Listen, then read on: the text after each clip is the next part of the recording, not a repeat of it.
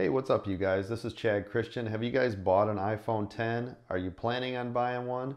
Or are you gonna give one away to one of your friends or family? I'm gonna show you today how you can master all the gestures on the phone. Stick around to the end and I'm gonna show you some advanced features that you can do on your brand new iPhone 10. So without further ado, let's get into it.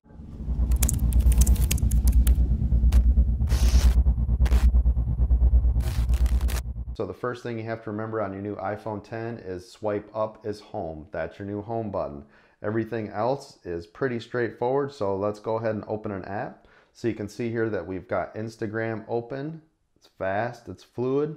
If you want to be able to get back to your home, swipe up. Now, if you want to get to multiple apps, there's a couple ways you can do it. You can either swipe up and hold. That'll allow you to get through your previous apps or you can swipe up and over to either side. Let me show you again, swipe up and over, left or right. You can also swipe on the bottom of your home screen, which will quickly get you through your apps.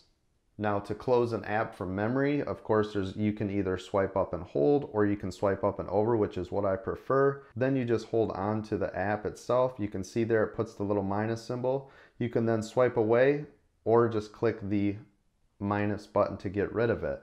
Now, one thing to note, if you're running an application that is in landscape mode, so let's say I'm watching a movie here, it's in landscape. So if you're watching something in landscape, you have to remember now that your home button is on the bottom of the screen and not from the bottom where it used to be over here on the side. So you can see the home button's right there.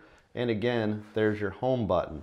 Now the gestures that everyone's talking about, there's a couple of different gestures that go with this phone. So in the upper right hand corner, this is your control panel. This gives you access to everything that you had before where you would swipe up on your iPhone. If you want your notifications, swipe down either in the middle or on the left hand side, that gets you your notifications. If you want to search for any apps or notes or anything on your phone, swipe down again anywhere on your screen. So recap again, upper right is your control center, down in the middle is your notifications, down anywhere on the screen to search, and of course swipe up is your home button. Now for some of the advanced features, if you want to take a screenshot, hold your new Siri button or power button right here and press the up button, the up volume.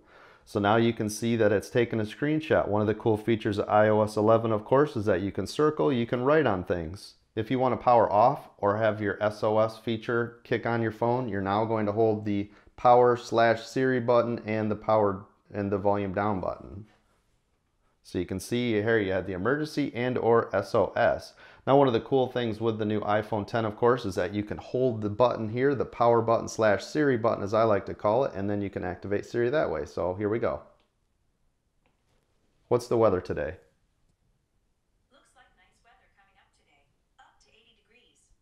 And of course, to get back home is just swipe up on the home button. If you guys have any questions or comments, make sure to leave them down below. If there's any cool special tips or tricks that you want to tell me about, make sure you leave them in the comments. I hope that's been helpful. If it is, make sure you subscribe, click that like button, share it with anybody who has an iPhone 10 to help them out, and I'll see you guys on the next video.